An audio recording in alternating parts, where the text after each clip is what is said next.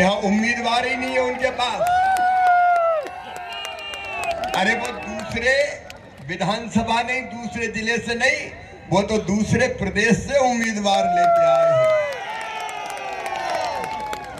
ये तो ठहरे परदेसी साथ क्या और एक गाना और याद आ रहा है मेरा। परदेसियों से ना अखियाँ समझ में आ रहा इनको तो चुनाव के बाद जाने ही है। लेकिन मेरे प्रिय बहनों और भाइयों हम सरकार नहीं चलाते मैं तो प्रदेश चौपट है। इनको शर्म नहीं आती। ये कहते हुए इतने सुंदर प्रदेश को चौपट प्रदेश कहने वाले कमलनाथ जी को जनता मज़ा चखाएगी ये मध्य प्रदेश की जनता का अपमान। दिग्विजय जी कह रहे हैं गब्बर बन के लूट रहा है यहाँ प्रदेश को।